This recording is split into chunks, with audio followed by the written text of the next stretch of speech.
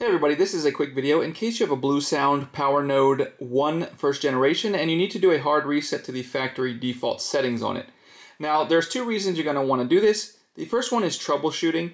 If you're having any issues with this streamer not connecting to your devices or if it's not it's not detected, it's not pairing or syncing or anything like that, or if you're having any issues with the sound, you can very often fix these issues with a hard reset to the factory default settings. Now you're going to need to set it up again because everything will be wiped off of it to its factory default settings, except for the songs on the hard drive, those will not be deleted. Um, but if you want to go ahead and do this, we can go ahead and proceed. It's quite easy. You just need to, first of all, uh, turn off and unplug your, um, your power node. Then what you're going to do is you're going to wait 30 seconds once you've cut the power to it, and then you're going to come in and on the top of the unit, you're going to press and hold the mute button and go ahead and turn the, um, or restore power to the device.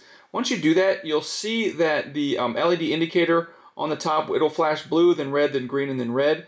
From there, you'll just continue to hold for about another 30 seconds. And after 30 seconds, the LED will start blinking red.